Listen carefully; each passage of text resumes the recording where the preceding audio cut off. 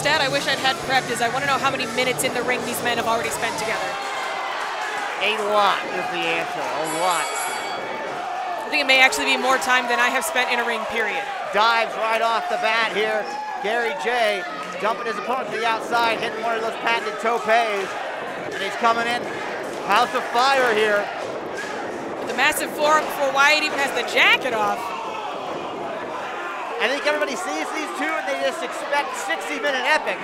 And that may be, but I think both of these men are going to be motivated to end this early because otherwise the story of this matchup is going to be how beat up are they going into round two.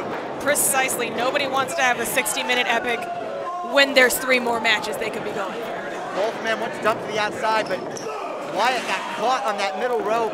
That's something to watch. Watch his wrist as we go through this. He was able to dive through the ropes with his feet deliver a punishing blow to Gary Jay. I'll tell you what, I've gotten all tangly up like that before. It don't feel too well. That, I mean, that's steel cable in there, folks. I mean, uh, it looks like garden hose at home, but it's absolutely not. There is a, a punishing steel cable in there. the Death Valley driver, one, Sure seemed to be. Yeah.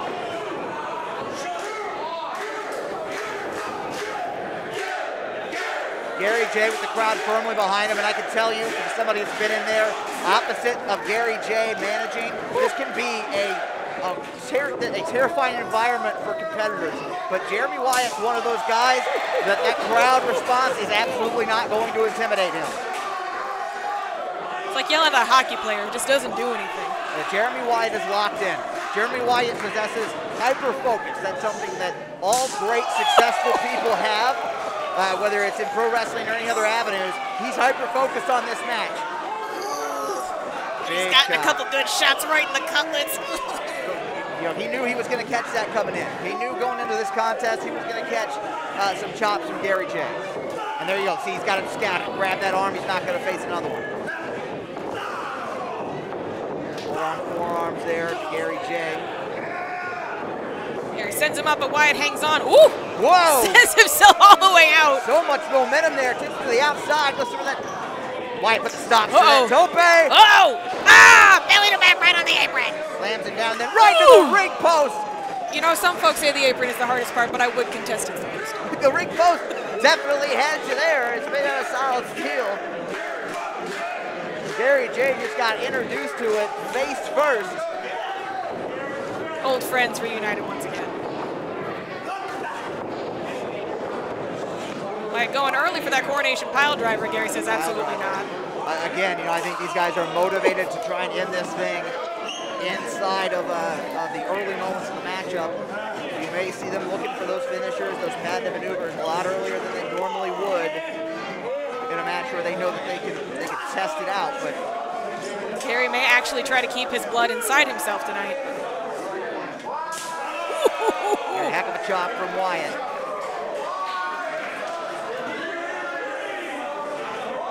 I think that's why Wyatt and Gary is, a, is this tale as old as time, right? Because Wyatt, in his head, you ask him, he could do everything that Gary Jay could do and better. Strike, chop, everything he could do, he believes he could do it better, and Gary Jay will tell you the same thing. They believe that they are the measuring stick here in St. Louis Anarchy. And wherever they go for that matter. Absolutely. Wyatt cannot get tired, and Gary cannot die.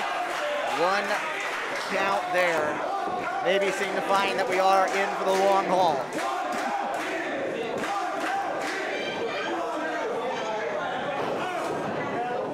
Crowd is rabid for Gary Jay. and that absolutely helped pull him through many matchups that he should have not been able to continue physically. Uh, but also, I don't think the crowd understands that the, a guy like Wyatt feeds off of it. A guy like Wyatt is fueled by by this uh, response from the crowd. So kerosene on a bonfire. I don't view it as an advantage as many people would. I think that this is uh, that's again why these guys have been so evenly matched. The home field advantage is neutralized for a guy like Wyatt. Right, going to uh, scrape Gary's beard off with his boost laces there for a bit. Wyatt soaking it in from the crowd. Leaving himself wide open for a gut shot, but you have to imagine it's a calculated risk. He knew he was in control there, maybe uh, for a little bit too long, basking in the glory of it, but was able to get the momentum right back on his side, deliver that big punishing forearm to the head. Kick straight to the ear. Ugh, stomping on the hand. Ah, sniffing the fingers. Ooh, the fingies. We've absolutely seen Wyatt employ this strategy before. That, that big chop is a punishing maneuver. You break his hand, you make it painful for him to throw one of those chops, and it neutralizes a big weapon for Gary Jay. Sending a knee right into the kidneys. Wyatt with a methodical strategy here, as always. Yeah, Jeremy Wyatt is another one of those ones where good luck getting him to not wrestle his title match. Absolutely. Is going to be in control here. You have to throw him off of his game. But with somebody as well-rounded as Wyatt, I mean, that's incredibly difficult. Yes. You want to go high flying, he can do it. Maybe not uh, his preferred method, but he absolutely can. You want to go to the ground game, you see he's right here. He's choking the life out of Gary Jay. You want to strike, you do that. He really is one of the most well-rounded competitors I've ever seen step into that ring. Ragdolling Gary here now. Again, putting all his weight on the back of the neck like we'd seen earlier with Cam.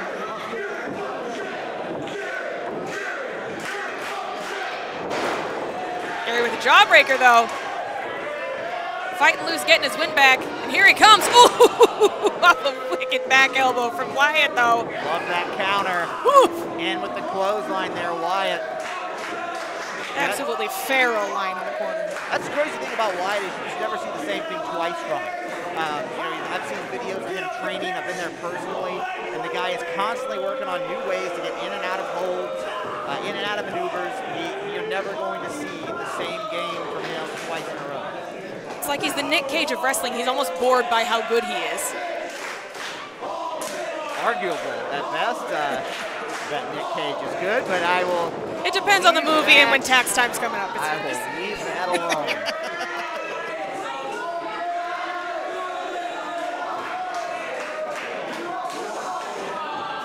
with the Alabama handkerchief directly onto the scalp of Gary. Wyatt is maybe letting his hatred of Gary cloud his judgment here as he gives Gary a, Gary a little bit too much time. In a non-CDC sanctioned way, might I add. Oh! Chop right to the back. oh. That's a little wrestler's code there. You don't chop somebody in the back. That shows the disrespect between these two.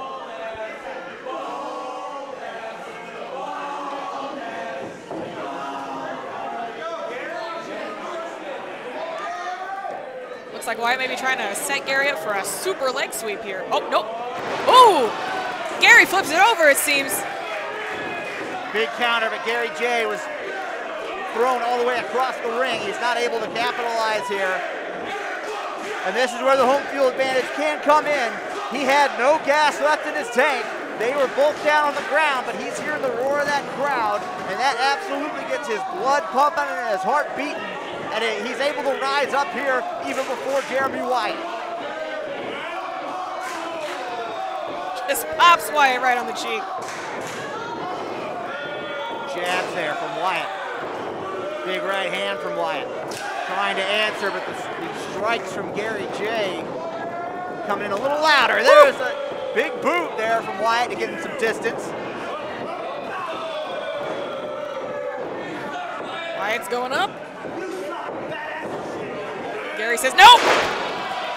Thrown from the top. Boom! Jay coming in with a big, big forearm there. Wyatt sending himself out of the ring, just in range for a tope. The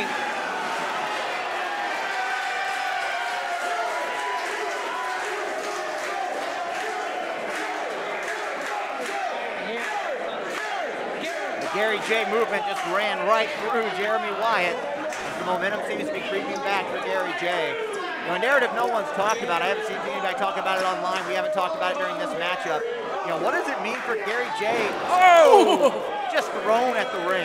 What does it mean for Gary Jay if he doesn't win this thing? I mean, he's a champion. There's not a lot of chances where you're going to see a non-title match in St. Louis Anarchy. What happens if he gets pinned? what does that do to the rankings here? I mean, that could throw everything topsy-turvy. If Wyatt wants another shot at that belt, perfect way to do it is to put Gary Jay on the ground right here tonight. Absolutely. That's why we keep you around. Look at that big brain. Oh! Big clothesline right out of his shoes. One, two, no. Hell of a kick out from Gary. Wyatt with all of his weight pressed over there. I thought Gary was going to try to counter it into a triangle choke the way that he had Wyatt's arms positioned, but Gary maybe just in desperation mode having to, to use all of his power to kick out of it.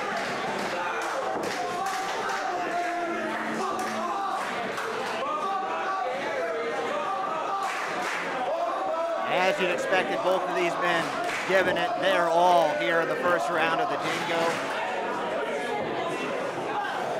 And as this thing goes on, we have to continue to think about night two. These guys are not going to draw an easy opponent tomorrow night, and they are having to go to war here this evening just to just to stay alive. Gary with the pop-up knee gets sent to the outside. Goes for a step in. Woof! There it is. That could do it. Lanson. One, two, no! Wyatt with a kick out.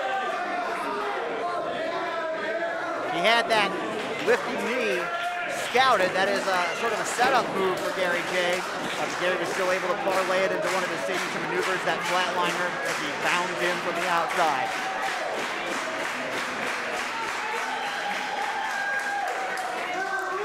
Both men once again fighting to their feet.